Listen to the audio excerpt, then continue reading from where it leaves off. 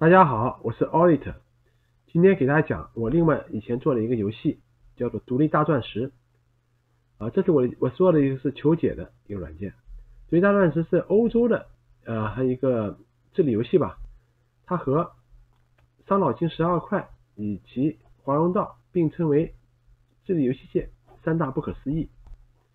对的，我呢从小喜欢玩一些益智的数学游戏。一九八八年接触电脑以后，编程解各种数学趣题。二零零一年，我做出了华容道大师，可以解任何华容道的题目。二零零三年，我完成了伤脑筋十二块的求解软件。啊，这个程序呢，我是和一个朋友葛勇一起开发的，完成了独立大钻石的求解。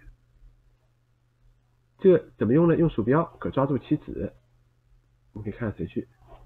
用鼠标可以抓住棋子，然后呢，你可以这个也可以玩。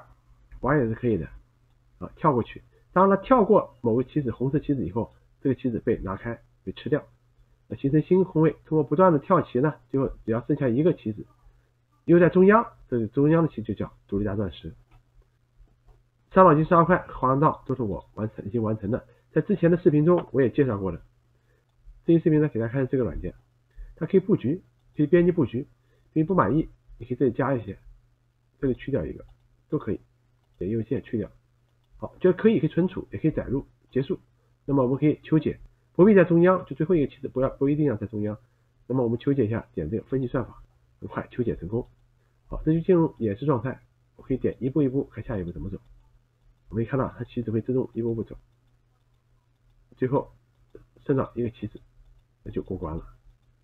啊，它的都是算法很快，好，就剩一个棋子结束。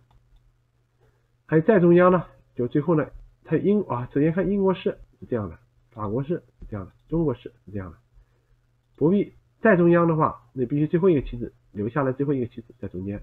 我们可以看下，好啊，此题是无解的英国式，法国式最传统的，它从法国流传出来的，分析算法求解成功。那么一步步我们就可以看到，最后所剩的棋子呢，一定是在中央的，中央的难度呢，像线条要多一点，中央难度稍微大一点。这就标准的手法，最快的。好，这里关于重置布局，对，你也可以重新置编编辑都可以，很方便。你可以设置任何布局，编辑以后任何布局都可以做，任何布局都可以做，做了以后它都可以求解，有解无解都可以，无有解会给你一步步走出来，无解会也会告诉你，啊，非常方便，啊，求解成功，都可以都可以做成功的。这种随便布了一个啊，有些局是无解的。非常方便，所以全能求解。嗯，好，这个程序大家可以在下方的这个描述栏免费下载啊，我提供给大家了。好，谢谢大家这次观看，我们下一期再见。